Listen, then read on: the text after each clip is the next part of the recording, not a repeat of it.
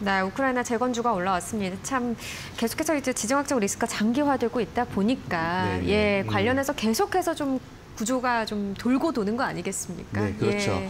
지금 뭐 러시아 우크라이나 전쟁 이슈는 지금 장기화되고 있지 않습니까? 예. 그런 가운데에서 시장에서는 재건을 좀 준비를 하고 있는 상황이에요. 그래서 지난번에 주가가 많이 올랐다가 최근에 가격 조정이 나왔고 다시 한 번 더 재차 반등이 나와주고 있는데 지금 현재 우크라이나에 대한 지원은 또 미국 쪽에서 또, 또 무기 지원을 좀 더 한다 뭐 이런 예. 내용도 좀 나와 있거든요. 그리고 또 뭐 평화 협정에 대한 얘기도 어, 살짝 살짝 또 중간에 또 나와주고 있고 또 아시는 것처럼 우크라이나 EU의 그 어떤 그 후보 그죠? 예, 후보국 지위 승인 이런 내용도 좀 나와 있거든요. 그렇기 때문에 전쟁은 좀 지속이 되고는 있지만은 이 재건의 이슈는 계속해서 유지가 될 것이다라고 보고 있고요.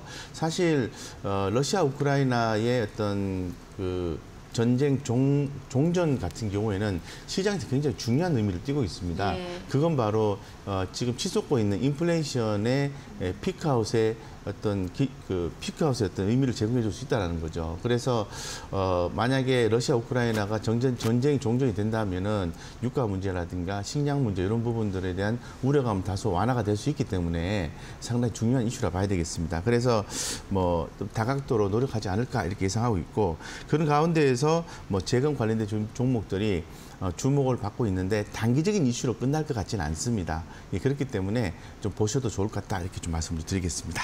네. 네, 재건주 쪽을 이제 얘기를 해주셨는데 이제 종목들을 좀 추려 보자면 뭐 해인도 있을 수 있고 도화 엔지니어링이라든가 뭐 현대 에버다임 이런 종목들이 좀 네. 있잖아요. 설탄 메탈도 있을 것 같고요. 네네. 최근 흐름들을 보면은 근데 사실 이제 실적 부분이 꾸준하지 않은 기업들도 꽤 들어 있어서 네네. 예. 그렇죠. 몇 개 정도만 흐름을 좀 보고요. 예, 예. 좀 대응해 보죠. 예, 먼저 그. 뭐 서암 기계 공업입니다. 네, 주가 흐름만 좀 보면요. 예, 음. 네. 그 현재 지금 흐름은 그대로 뭐 긍정적인 모습 유지가 되고 있는 상태입니다. 그 지금 변동성이 좀 커, 커져 있는 구간이긴 한데 네. 주가 자체는 그래도 흐름은 살아있다 정도로 얘기를 할 수 있을 것 같고요. 예, 그리고 어, 해인, 해인 같은 경우에도 보면은 주가 좀 많이 빠져 있죠. 많이 빠져 있어서 약간 또 변동성이 나올 수 있는 구간에 놓여져 있다고 말씀드리겠습니다. 그리고 현대에버다임, 현대에버다임 같은 경우에도 예.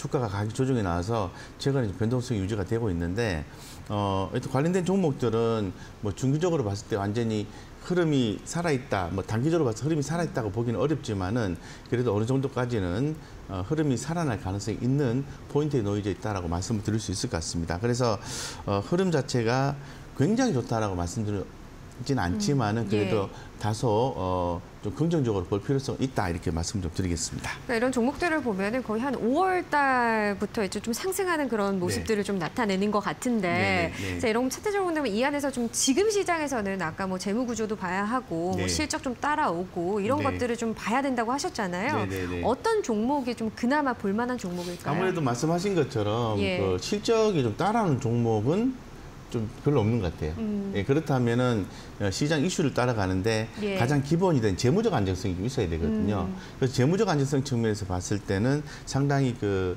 가격이 싸다라고 볼 수 있는 회사가 바로 현대 에버다임입니다. 어, 예. 음. PBR도 1배가 안 되거든요. 예, 그래서 어, 재무적 그 재무적 가치를 어, 정량적으로 분석해 봤을 때 어, 한 거의 상당 부분 많이 그 할인돼 있다고 말씀을 드릴 수 있을 것 같고 어, 지금 이 회사 같은 경우에는 지금 뭐 현대 쪽 그죠 현대 그, 그 현대 쪽에 네. 아, 현대 그린푸드가 지분을 45%나 들고 있는 회사입니다.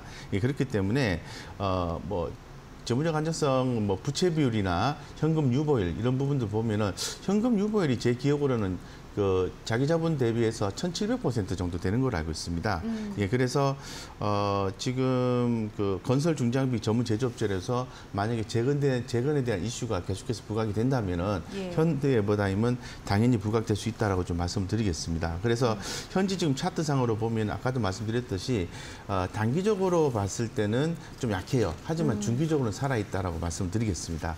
지금 현재 가격은 8,810원, 13% 정도 상승해주고 있는데 현재 지금 목표가 제시는 하지 않겠습니다. 그래서 하지 않고 추세 대응을 좀 추세 대응으로 어, 좀 가름을 좀 하고요. 예. 어, 손절가만 제한시키면 될 것 같습니다. 7,600원, 뭐 7,600원 밑으로 빠지면은 어, 주가가 완전하게 그 하방 움직임이 더 나아지는 상황이기 때문에 7,600원 하방 그 이탈시 뭐 손절하시거나 비중 축소를 하신다든가 대응하시고 나머지는 그대로 어, 보유하거나 비중을 늘려가는 전략을 취하신다면 은 어, 좋지 않을까 싶습니다. 네, 재무 안정성에 대해서 다시 한번 좀 강조를 해주셨고요. 오늘 관련 주들 중에서 슈팅 좀 크게 나옵니다. 13.7%까지도 지금 상승력 가져가면서 8,860원대에 거래가 되고 있는 상황이네요.